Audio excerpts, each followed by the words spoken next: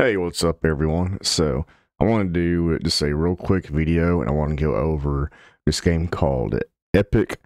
Um, it's a really cool game. You can get off Steam right now. It's on sale for just $1. And when it's not on sale, it's only $2. Now, the thing I really want to go over about this is it's one of the games that you will need to use auto hotkey for. And this is something I was just really made made aware of but you can use the auto hotkey it natively inside Launchbox.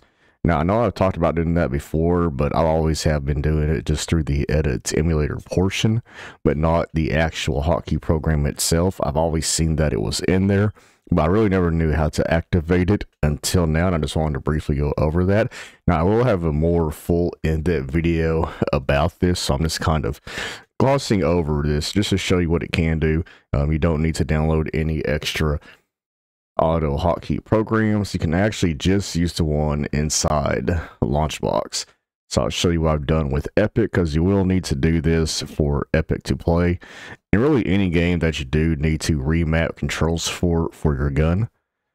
So you would just go down to edit, edit metadata, and you would see additional apps right here. And I've already done this. I've created the um, mapping right here. So I just renamed it Epoch Control Mapping. And this is the actual hotkey, which you'll find it in the third party auto hotkey. And right there's the actual program itself. So I just want to show that to you and this is the auto hotkey that I made. So I'm, I made a scripts folder I want to put all my auto hotkeys at.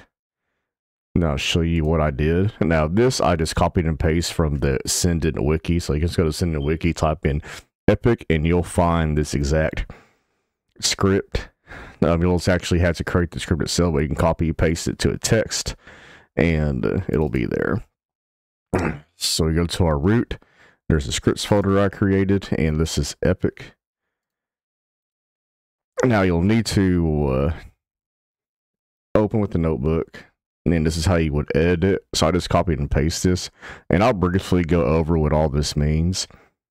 So um, actually, this part right here you don't need, so I'm just going to delete that because this is already going to run with a Launchbox whenever this opens. So I don't want that to interfere with that. But what I do want to bring up is this right here.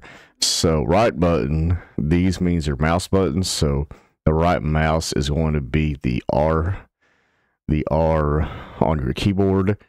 And that's going to be your reload. The middle mouse is going to equal Q, which will be the missiles. Uh, space equals E is going to be the counter. Um, F's going to be your booster, which will be at number one.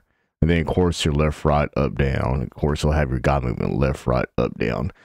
Now, what's cool about this is using this method, especially the remapping functions, and also using the uh, native uh, auto hotkey within Launchbox, as it could just unlock so much more potential of what you can do and play games that normally wouldn't be playable. But how you would save it, you would just go to your file, you would save as, and you need to save it as an auto hotkey, so you need to add dot AHK and you will need to change this to all files. If you don't, it's just going to save it as Epoch epic.ahk, but it's still going to be a text file and not an auto hotkey. And then whenever you do that, just want to bring this up and you'll see it's a auto hotkey script.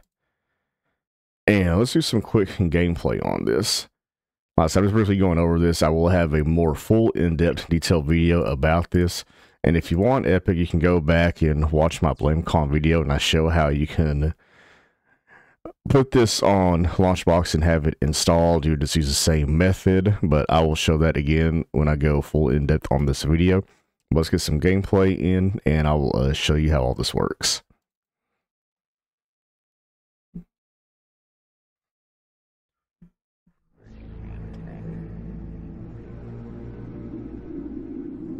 Gotta bring our border up. I'm sure we can just use a reshade and I will do that in the full video.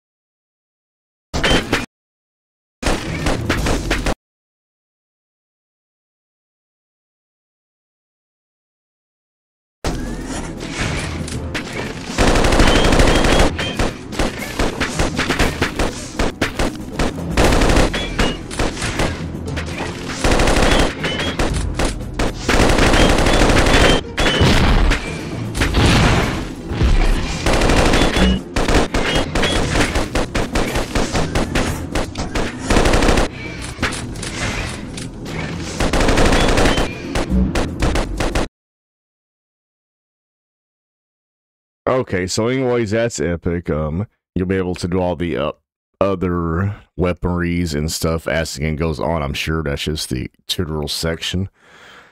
But anyways, I just wanted to bring that up and make y'all aware of that. So anyways, hope y'all have a great day and I'll catch you next time.